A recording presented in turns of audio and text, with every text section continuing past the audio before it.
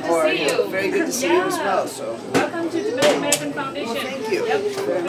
And as you can see, it's really noisy and disturbing for both the students and instructors. So we have fifth graders here. Jimewa means what did you say? Then they understand, oh yeah. But then they, they find it quite funny, you know, like because they, they, what we have never heard. What is it, valuable? Who in He here says 10, stands 10, 10, ro- 10 heads will roll. So uh, I maybe always hear this come up.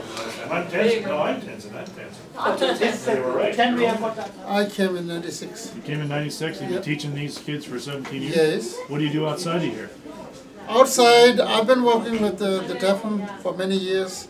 TAFM's president, vice president, and then I work uh, formerly with the American Express. Oh, real, well. Yep. Glad you're doing this. Thank you.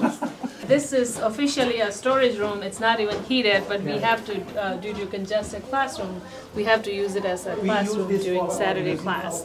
And today, since we have, you know, performance after this program, it's being used for, you know, changing room for our performers.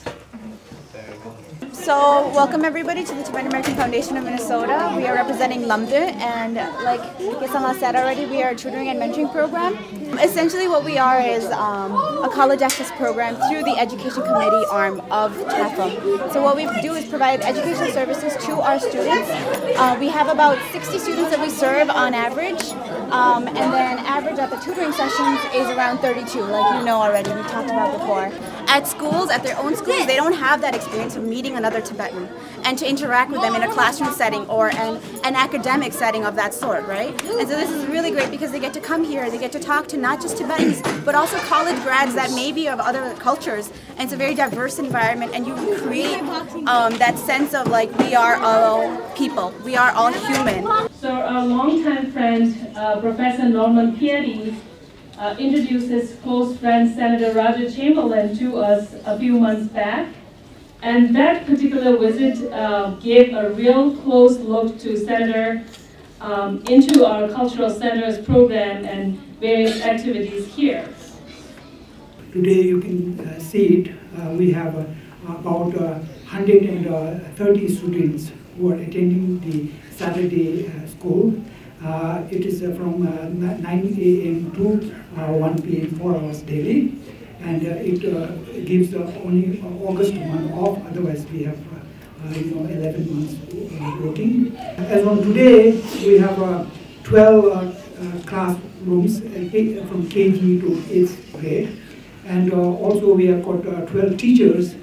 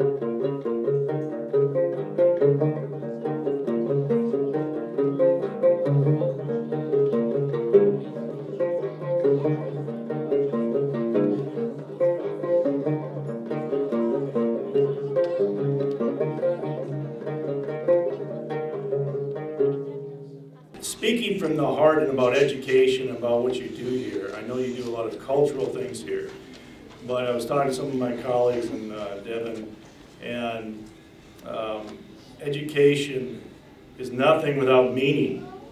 Be proud of where you came from. Don't lose that. Listen always to what they're telling you. It's for your own good, really, it is. Take, it took me a few years to figure it out, but I figured it out. Don't lose that. Be proud of where you're from. Be proud of where you're at.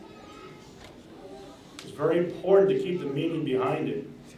But probably the strongest thing here is just, that I'm so impressed with, is the families. I love and respect and trust families. It's families that brought this together, it's families that put this together, it's families that keep this going. It's families that create the success. Okay, everybody smile.